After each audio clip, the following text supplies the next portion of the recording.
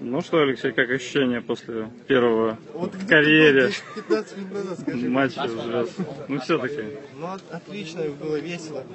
А, Сыграли игру, было очень, очень прикольно. Так что сейчас закончили и будем отдыхать.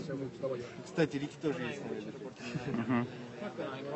Ну, кстати, не обидно, что приходится уезжать так рано, что не, не удастся посмотреть э, ни конкурса матч. Нет, на самом деле не обидно, потому что если бы я остался, я бы вообще все пропустил. Я, нужно хотя бы несколько дней отдохнуть, другим что-нибудь там. Усталость действительно накапливается, когда играешь в таком ритме, там по три, по четыре матча в неделю. Ну, на самом деле не то, что там тело или что-то там, руки-ноги болят. Хорошо себя чувствую, просто и подряд тут игры и, все время в футбол играю. То есть там тренировка спиной, игра, игра, игра, игра. И нужно все равно вот три, три дня мне есть, отдохну и иду в отличной форме. В первой четверти видел, как э, девушку с братом показали в кис-камере? А, Успел нет, заметить? Посмотрю.